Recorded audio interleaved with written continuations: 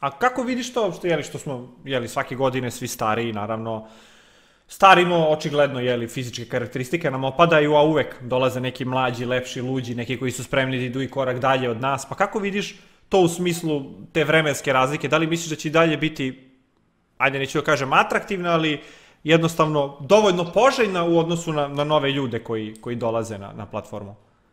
E pa zato moraš da radiš na sebi, na primjer kreneš u teretanu, ne znam, e, ako imaš te borice i to malo odeš popraviš, nešto koriguješ i ono moraš biti u formi. Mislim, e, kako da kažem, niko neće biti lep za uvek e, i zgodan i sve, sve moraš raditi na sebi prosto. Mhm.